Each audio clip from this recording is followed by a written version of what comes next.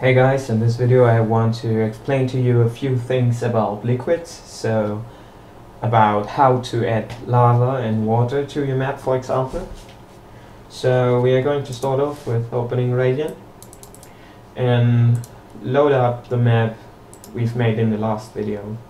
Um, if you don't have the map you can download it from the, from the video description and also from the forum post. And once you've got it, open it up, uh, opened up using the file menu and the open function. Uh, be sure to save the map to a new file. So to go to file again and click save as and save it as ep6.map or any other name you like.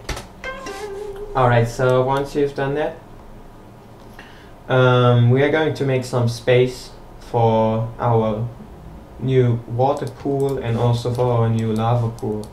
So to do this, um, take the floor plate of our rocket launcher room and scale it a bit. So you got a bit of space on this side here.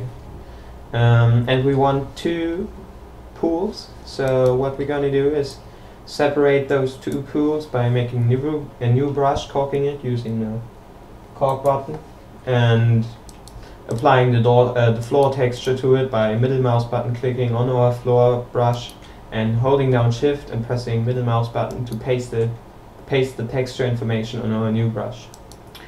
So now we make the floor plate for our two pools. So make a new brush and move it down so it does not overlap um, with the other brushes. And if you like you can give this um, a new texture, so select it, using shift and control and left mouse button and press T to bring up the texture browser and give it any texture you like.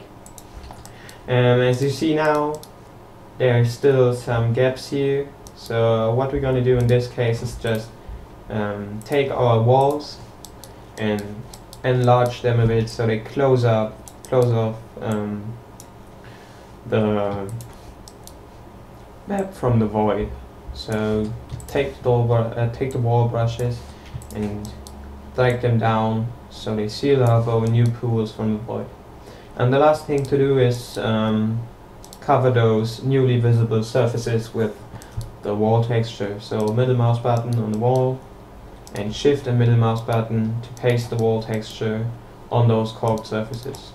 So that's it already for our pools and now we're gonna add liquids to those pools. So for the for the left side here, I'm gonna go for water, and to do this, make a new brush inside here, scale it a bit so it fits into the pool, and then go to the textures menu because we are going to need a new shader for our water volume. So go ahead and select the common category containing all of our technical shaders which are important for liquids in general. Um, and press T to bring up the texture browser. And what we need now for water is the water caulk texture. So as you can tell from the name, um, this has a similar function as caulk, um, being that surfaces that are not actually, you know, visible from above, in this case, um, don't get rendered. Um, but the only difference compared to caulk is that this um, gives the volume and encloses um, water properties, meaning that this brush, if we compile the map now, won't be solid, but it, but it can swim in it, so it is like water, but it won't actually see a water surface. Um, and to do this, select the top surface of the water volume, go to the textures menu, um, and choose the liquids category. And as you can see now there are a bunch of liquid textures here. Um, those are only for visual purposes mainly. Um, so I'm gonna go for clear calm 1 and this will be the shader for our water surface. Um, pay attention to using a shader and not just an image. So, you know, the water is actually moving and not solid. Um, yeah, and we've discussed this in the earlier tutorial, so you know what I'm talking about. Um, yeah, once you've done that, deselect everything, and that's it already for our water surface uh, or water volume. And pretty much the same procedure applies to making lava.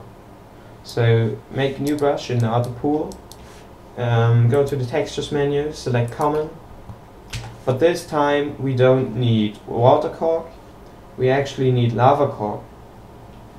Simply because they are two different, treated as two different kinds of volumes by the game. So go ahead and cover the whole brush with lava caulk and select the top surface. Um, choose the liquids category in the textures menu and give it any, you know, any um, shader that you like. I'm going to lava, going for lava hell 1000.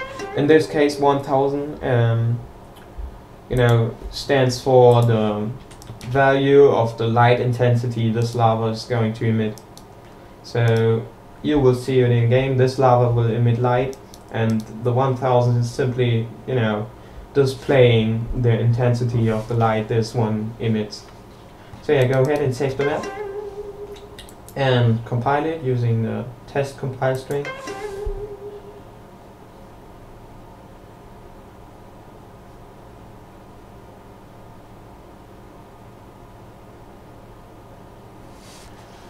And when you're done, um, launch Wolfcam and load up the map using the console, entering map EP6 or whatever you've called your map.